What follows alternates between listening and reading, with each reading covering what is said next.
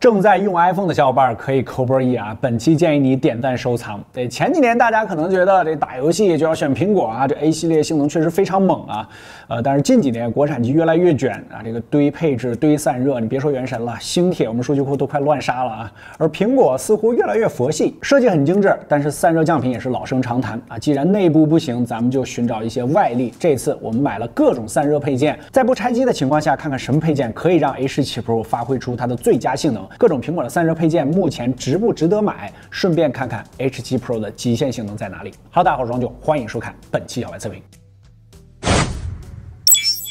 提前说明啊，本期绝无恰饭，放心使用啊。找散热配件，我们首先以能轻便就轻便的想法啊，先选购了某宝上的四款热门的散热手机壳啊，价格我们直接打出来啊，他们还真不是那种简单做薄做镂空就说自己是散热壳的款式，是宣传有材料技术的啊。按照重量排名，分别是类似于冰凉贴凝胶散热的凝胶壳，三十五点五克，内置了摸细铜片但是比较薄的石墨壳，四十二点七克，内置了相对较厚铜片和铝制背板的铜铝壳啊，六十六点九克。采用碳纤维和大片铜管的铜碳壳啊，七十五点三克啊，确实比较重了。单就材质来说呢，导热系数从高到低是石墨烯、铜、铝、凝胶。当然，这些只是材料的理论系数，具体情况还要考虑到材料用量以及结构等诸多因素。还有个需要注意的点，虽然它们四款都支持 MagSafe 磁吸，但只有凝胶壳是支持磁吸充电的，其他三款在线圈部分因为都有铜片遮挡，所以只能磁吸，不能无线充啊。啊，论做工来说，我们买的这四款壳凝胶的看起来确实还比较精致啊，整体为塑料加上镂空的。设计比较软，不过四周的保护性呢没有其他三款那么好啊，装机上面有一点点松。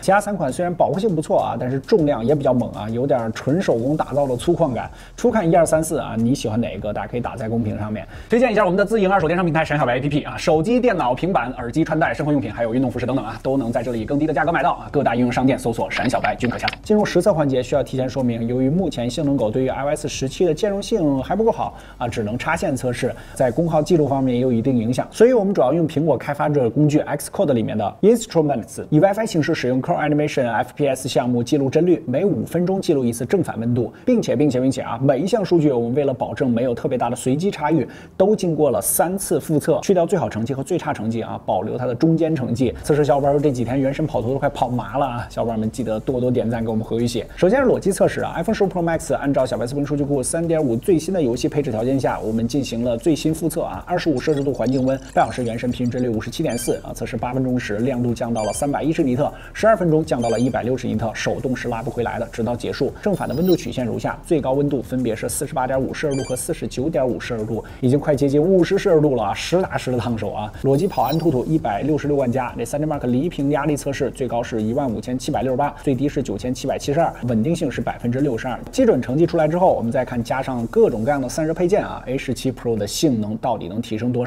我们先上四款散热壳，这过程就不赘述了。最后结果我们直接用一张图给大家打出来，你可以暂停查看。最终就是这一张图，但是这些数据几乎花了我们快一周的时间。我们发现半小时原神帧率最终成绩和曲线与裸机几乎是一致了，只有零点几的差异，最高是五十七点九帧，最低也有五十七点六。这其实和我们的预期差别还是挺大的。这散热壳都是智商税吗？其实这么说也不完全对。看到这儿的小伙伴肯定会觉得这些壳有啥用啊？这带不带不都一样吗？先别急，咱们来看看体感温度。感觉说智商税也不全对。四款散热壳半小时正反面温度曲线如下啊，去掉起始二十五摄氏度，平均温度最高的是凝胶壳四十二点六摄氏度，最低的是铜碳壳四十点八摄氏度。而且最重要的来了，四款壳子在测试过程中，这 iPhone 都没有出现能够明显感知到的大幅降亮度的情况。这点对于打大型游戏的小伙伴可能还是有一些用的啊。整体也比裸机凉快了快四五度。虽然温度可能还是包在壳里面，但手持体验确实不至于烫手了，游戏体验确实会更好一些。不过带着四款散热壳跑安兔兔，哪怕是最好的成绩一百六十六万一千四百五十五，均没有什么太大变化。三 D Mark 几乎不变啊，最高是一万五千七百多，这最低分是九千九百多，稳定性百分之六十三点一，可以说是正常误差范围内了。带散热壳的最直接好处，其实就是亮度降低不那么明显了，这可是 iPhone 打游戏的一个老问题了啊。然后就是手感的改善。看到这儿，估计又有小伙伴会说，这壳子终究是壳子啊，还得上散热器。下面的测试环境和前面都是一样的，直接上最猛的水冷。冷散热器啊，我们这个是一加当时发的一款，不过本期我们是极致项啊，直接用这种大家伙啊，这个大家平时的话呢，说的就是那种磁吸背夹式的风扇散热器。半小时原神上来就是一条直线啊，平直率五十九点四啊，由于温枪始终会检测到背面散热器的温度啊，所以我们看一下正面的温度曲线，最低是三十三点二，最高也只有三十五点三，全程可以用手感冰凉这五个字来形容啊。但如果看一下跑分，安兔兔一百六十七万四千多啊，只比之前两次高出了不到百分之一。这三 D Mark 最高是一万五千七百百多，几乎一致，最低分也只提升了约一百六十九千九百三十五啊，稳定性同样只有百分之六十三。裸机只配散热壳或者只配散热器，这三次的性能纸面成绩均没有什么太大变化。难道这就是不拆机的情况下 A17 Pro 的极限了？我们常说的纸面跑分并不能代表实际体验。经过前面三轮实测，纸面成绩几乎没什么变化，但是游戏体验差异确实出来了。既然我们要寻找它的极限性能啊，如果同时给 iPhone 用上这种散热壳子，然后再加散热器，它还有没有提升空间呢？最终测试结果我们还挺意外。